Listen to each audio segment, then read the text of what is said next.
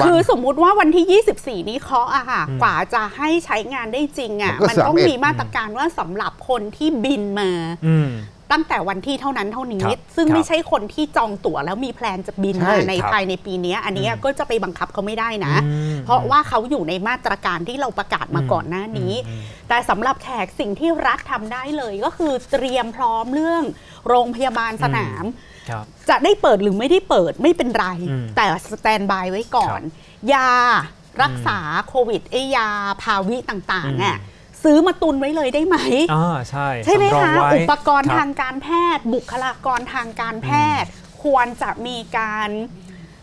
standby อืมพนักงานบุคลากรแพทย์ครับพยาบาลผู้ช่วยพยาบาล พนักงานเปลต่างอืมๆแล้วเตรียมงบประมาณสำหรับการดูแล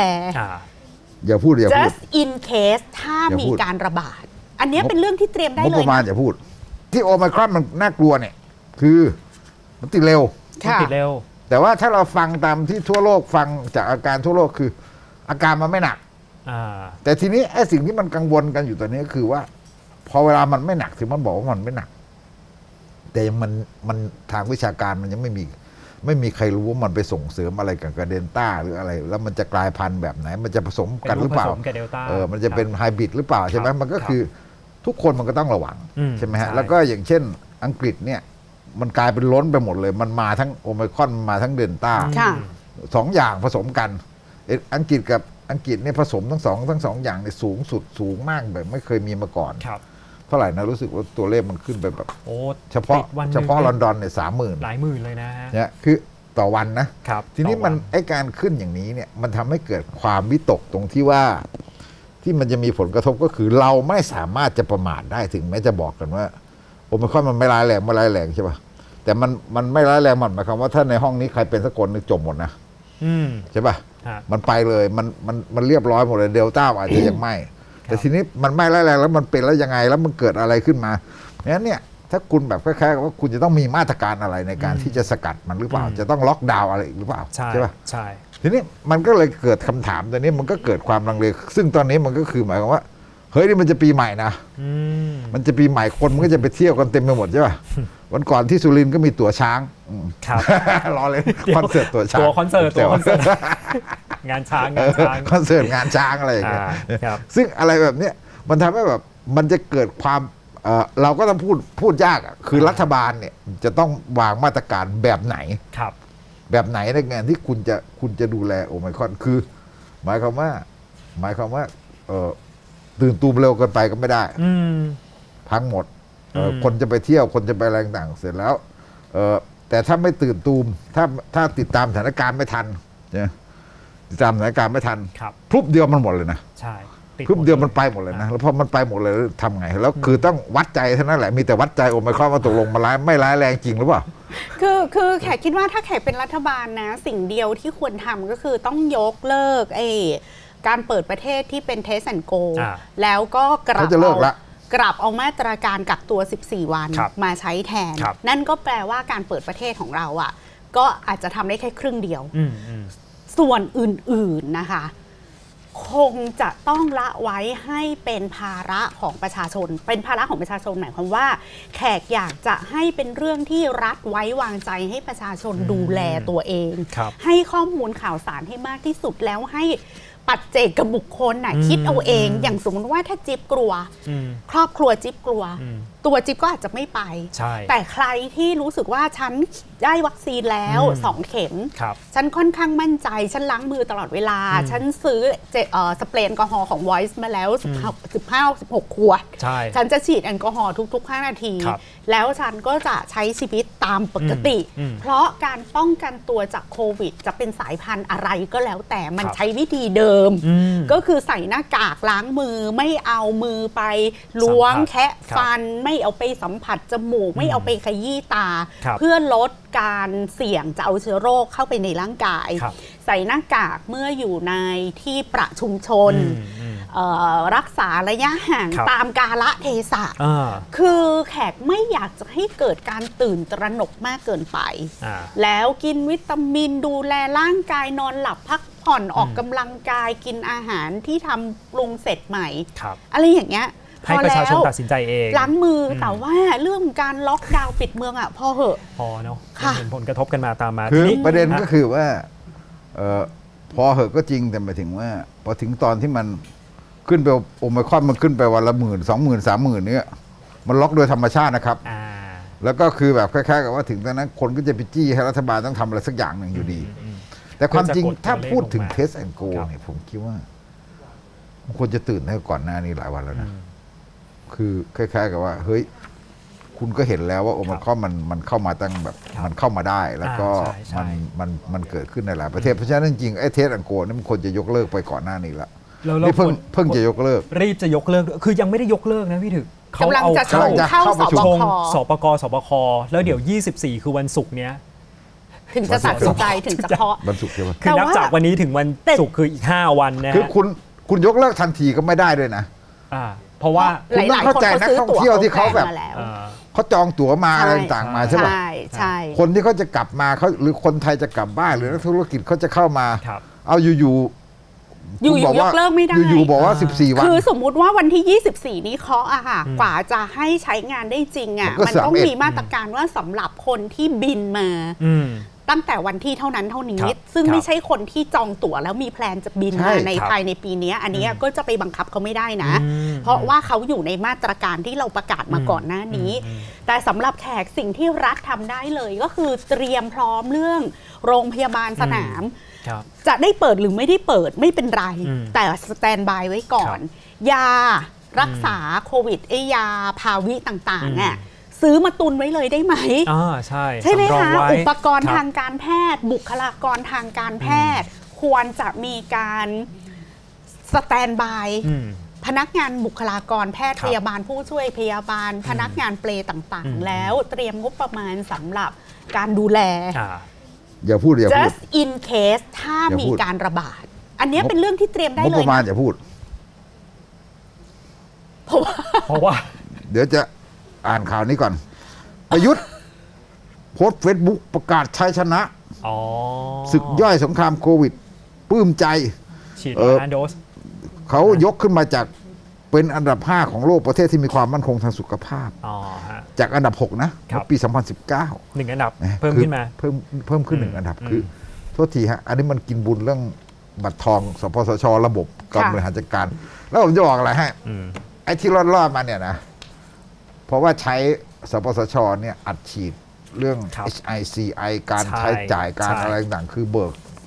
เบิกรัฐได้หมดใช่ป่ะอืมเบิกผ่านสปสชเป็นผู้จัดระบบการเบิกจ่าย แต่ที่ผมบอกว่าอย่าพูดตอนเลยว่ายังไม่มีเงินจ่ายเขาหมดเลยครับอืมโอ้ยอันนี้หลายเดือนแล้วนะ พี่ถึงอืมที่ที่ค้างเงินเขาอะใช่ครับ คือมันไม่ใช่เงินสำ มันเป็นสปสชเป็นผู้บริหารจัดการแต่เงินน่ะคือเงินของรัฐนะครับ เงินยังไม่จ่ายเลยครับเอ่อโรงพยาบาล เอกชน อะไรต่างๆ ที่เราเห็นข่าวใช่ป่ะที่โวยวายกันบอกว่าจะเจ๊งอยู่แล้วอะ่ะเอ่อติดค้างเงินตั้งกี่ล้าน กี่หลายล้านอะไรต่างๆนี่คือ รัฐบาลยังไม่มีจ่ายเลยครับ ใช่ป่ะแล้วมันไม่ใช่เท่านั้นนะผมไปเจอคนที่เขาบอกว่า เอ่อเนื่องจากมันเป็นการรักษาฟรีใช่ไหมเวลาคุณไปเข้าโรงพยาบาลเอกชนเนี่ย คุณรักษาฟรีนะโรงพยาบาลเอกชนก็บอก จ่ายก่อนอืมเบิกก่อน สมมุติ เอ่อค่าใช้จ่ายเรื่องนั้นเรื่องนี้อะไรต่างๆเนี่ยใช่ป่ะครับเอ่ออย่างน้อยๆก็คือค่าตรวจค่าอะไรไอ้พวกยาพวกอะไรเนี่ยรัฐบาลให้ใช่ป่ะใช่ครับมันจะมีค่าตรวจค่าอะไรบางอย่างที่ประเภทแบบเขาบอก เฮ้ย ผมอะจ่ายไปก่อนประมาณห้าหกพันอะอ่าแล้วบาทนี้ผมยังไม่ได้เลยอ่าครับ มีอืมนี่เรื่องจริงอืมคือ ไอ้พะพวกค้างเลยตั้งแต่คนเล็กคนน้อยมาถึงแบบไอ้ไอ้รายยังไม่ได้ใหญ่คืนๆที่แบบโรงพยาบาลเอกชนใหญ่ๆที่อืมที่ยังไม่ได้เงินเนี่ยครับเพียบเลยอืมแต่อันเนี้ยมันไม่มันก็เป็นเรื่องที่เราต้องจี้ให้รัฐเอาเงินมาจ่ายเพราะใช่ไม่ไงมันคือไม่ใช่ว่ารัฐไม่มีเงินอะครับมันก็ เฮ้ยเราก็ต้องไม่มีจริงไปกดดันน่ะว่าไม่มีเงินจริง8ปดหมื่นล้านที่จะเอาไปทำคลองแสนแสบอะยืมก่อนได้ไหมอะไรอย่างเงี้ยเอาไปทำเรื่องนี้อันนั้นก่อตั้นงสิบเอ็ดปีเนาะ11ปีใช่ แต่ในขณะที่ซิดนีย์เขาอ่าครับเขาวิงวอนให้ประชาชนเลิกหวาดกลัวโควิดนะอืมฮะคือเอ่อมุขมนตรีแห่งรัฐนิวเซาท์เวลโดมินิกนะคะเพอร์รอตเทตให้สัมภาษณ์สื่อที่ซิดนีย์ขอให้ประชาชนเลิกหวาดกลัวโควิด ปฏิเสธการ ฟื้นมาตรการบังคับสวมหน้ากากในที่ร่ม และจำกัดจำนวนผู้ใช้บริการในสถานที่ต่างครับๆแม้ยอดผู้ติดเชื้อรายวันจะพุ่งสูงขึ้นเกือบทุกสถิติใหม่อืมบอกว่าผู้คนในซิดนีย์ซึ่งเป็นหนึ่งในมหานครที่มีอัตราการฉีดวัคซีนสูงเป็นอันดับต้นๆของโลก ได้กลับมาใช้ชีวิตใกล้เคียงกับภาวะปกติตั้งแต่สัปดาห์ที่แล้ว แล้วภาครัฐก็ตัดสินใจยกเลิกข้อห้ามข้อจำกัดต่างๆ เพื่อที่จะให้เอ่อเทศกาลคริสต์มาสเนี่ยมันคึกคักเป็นปกติมากที่สุด ในขณะที่โอไมครอนระบาด แล้วประเทศอย่างเนเธอร์แลนด์เนี่ยตัดสินใจล็อกดาวน์อีกครั้งหนึ่ง แล้วประเทศใกล้เคียงนะคะก็จะเริ่มมาตรการคุมเข้ม ในออสเตรเลียเนี่ยรัฐบาลกับทำใน ทางตรงกันข้ามค่ะ ก็ให้คืฉลองคริสต์มาสอยากจะคลายล็อกนะคะ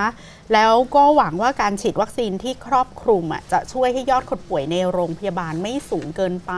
ครับทีนี้ทางมุขมนตรีของ New South Wales เขาบอกว่า ประชากรออสเตรเลียที่อายุเกิน 16 ปีเนี่ยได้รับวัคซีนแล้วเกิน 90%อืมผลก็คือ อาจจะมีการติดเชื้อเยอะมาก แต่ไม่แสดงอาการคพรับอไม่แสดงอาการผลก็คือ ไม่เป็นภาระทางสาธารณสุขอืมดังนั้นเขาก็เลยไม่อยากจะไปอยู่กับการล็อกดาวน์ทำให้อืมเศรษฐกิจมันเอ่สุดอไปอีกชะงักเนอะงานอืมอีกครั้งครับแล้วอยากจะให้คนน่ะเริ่มดีลกับโควิด เหมือนกับเป็นโรคระบาดปกติที่เราอาจจะเจอกับมันทุกปี เหมือนไข้หวัดใหญ่ครับเหมือน โรคระบาดที่มากับฤดูกาลครับนะคะตอนนี้ออสเตรเลียเนี่ยผู้ติดเชื้อสะสม 255,000 คนนะคะอืมไม่มีผู้ป่วยโควิดเสียชีวิตเพิ่มครับในวันนี้คือวันที่ 20 แม้ว่าตัวเลขผู้ติดเชื้อจะเพิ่มขึ้นจำนวนคนป่วยในโรงพยาบาล ถือว่าน้อยมากเมื่อเทียบกับช่วงพีคของการระบาดครับเขาก็เลย เออ ควรจะอยู่จริกับงๆครัมับนมันประเด็นมันอยู่ที่ว่าเป็นปกติได้แล้วค่ะเขาฉีดวัคซีนครบ ไปแล้ว 90% 90%เกิน 90 ด้วยครับของเราอะนะฮะไอ้ที่เรายังวิตกกันอยู่ก็คือว่ามันจะมันไม่ต้องพูดถึงเข็มสามอะเอาแค่เข็มสองแล้วก็ยังเท่าไหร่นะเจ็ดสิบเอง ประมาณอ่าประมาณ70%และใน70 70%นี้เป็นวัคซีนเชื้อตายเยอะด้วยนะ เออ เราไม่รู้ว่าวัคซีนอะไรคืออะไรไงใช่แล้ววัคซีนอะไรผสมอะไรเนี่ยมันยังทฤษฎีมันยังงงไปหมดเลยควายกันไปอีกนะแต่เฮ้ยอย่างแต่น้อยผมฟัองอสเตรเลียข่าวมานะเขารู้ว่าเขาเป็น mRNA เนอะอ่าผมฟังใช่ข่าวมานะ ตอนนี้มันมีคนไทยบางส่วนเขาเริ่มตั้งแต่ก่อนจะมีข่าว 63 คนนี่นะครับ เมื่อวันก่อนใช่ไหมโอไมครอนมันยังไม่เข้ามาใช่ป่ะมันมีอืมน้อยมากเลย คนไทยเขาเชื่อกันว่าเฮ้ยทำไมฝรั่งมันติดเยอะเองเนี่ยวะอืมนี่เห็นไหม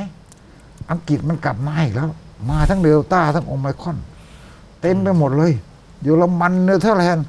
ไอ้พวกนี้มันไม่ได้ฉีดซิโนแวคแง่ๆเลยใช่ป่ะอืมฮะจริงไหม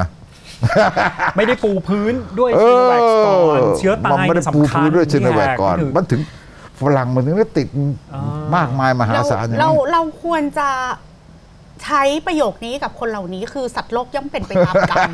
คือเราจะไม่เข้าไปแก้ไขความคิดความเชื่ออะไรเขาอีกต่อไปแล้วยากเหคืลือเกินสัตว์โลกย่อมเป็นไปตามกรรมครับอยากเชื่ออันนี้เราสบายใจก็เชื่อไปเถอะ ใช่ครับแต่ว่าเท่าที่ฮะเรารู้เนี่ยในยุโรปมันมี anti-vax เยอะ ครับ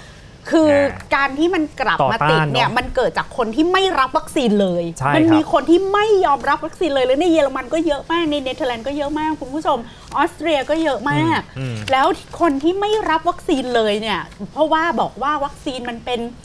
เออ เป็นสิ่งแปลกปลอมยุทธนะศาสตร์ของอ๋อการค้ากำไรของพวกอ๋อบริษัทยาอ๋ออ๋ออ๋อ create ไวรัสขึ้นมาเองผลิตอ่ายยาขึ้นมาขายเองผลิตวัคซีนครับแล้วดูครับซิหุ้นบริษัทยาขึ้นเอาขึ้นเอาขึ้นเอาอ๋อรวยดังนั้นน่ะ ฉันจะไม่ตกเป็นเหยื่อของคนพวกนี้เด็ดขาดอืมคือในยุโรปมีคนคิดอย่างนี้เยอะมากมีจริงมีจริงแล้วก็พอมันครับมีคนไม่รับวัคซีนแล้วก็ไปติด ติดครับก็จะเอาไปติดคนอื่นไงอ่าแล้วคนที่ได้รับวัคซีนแล้วเนี่ยไปเจอเชื้อใหม่ก็ติดแต่อืมว่าผลแต่ว่าสิ่งที่เกิดขึ้นคือติดแต่อาการมันไม่หนักครับแล้วสาเหตุที่อาการไม่หนักก็เพราะว่าได้รับวัคซีนแล้วก็อ่าแค่นั้นใช่เองครับผมเพราะว่ามีเพื่อนของเพื่อนอยู่ออสเตรียพี่ถึกเป็นพวกเนี้ยอืมเป็นพวกไม่เชื่อในวัคซีนอืมตายค่ะโอ้